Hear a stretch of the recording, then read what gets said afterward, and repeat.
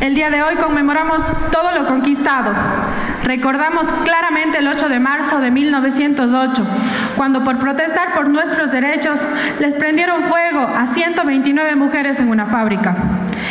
Quiero enaltecer el trabajo de todas nuestras antecesoras, quienes con su lucha constante lograron abrirse a un mundo de hombres. ¿A qué me refiero con esto? A que el día de hoy en su honor conmemoramos la lucha constante de nosotras las mujeres por abrirnos paso a un mundo donde exista la igualdad de género y de derechos. Quiero resaltar y aplaudir el trabajo de las mujeres de mi cantón, quienes con su labor diaria y trabajo constante enaltecen aún más el nombre de Girón. Es por ello que el día de hoy, por primera vez, reconocemos a 13, a 13 mujeres, 13 mujeres. Estas 13 mujeres son las mujeres que dejan una huella verdadera en Girón.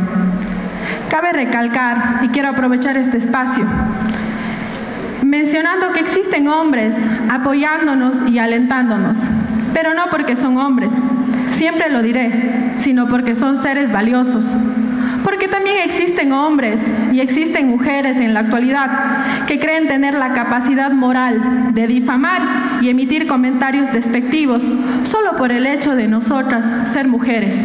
Y eso no es justo. Y peor aún, en el cantón existen hombres y mujeres que por su falta de principios y valores creen tener la potestad de dañar el buen nombre de una mujer debido a que ella tenga participación en ámbitos políticos, sociales, deportivos, culturales, religiosos, entre otros.